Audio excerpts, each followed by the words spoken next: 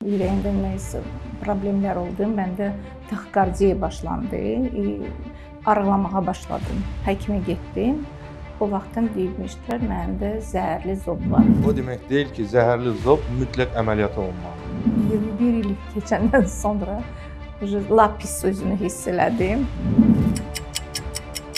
Mən qorxurdum zobu kəstirməyə, inanmırdım həkimlərə düzündüsə. Bəli, 21 il zəhərli zobla yaşamaq Mən bu həkimə inandım. Hər şey yaxşı olacaq. əməliyyatdan sonra təyin olunan dərmanın dozası var. Hər çərşənbə 16:30-da Doktor Könül Mahmudovanın təqdimatında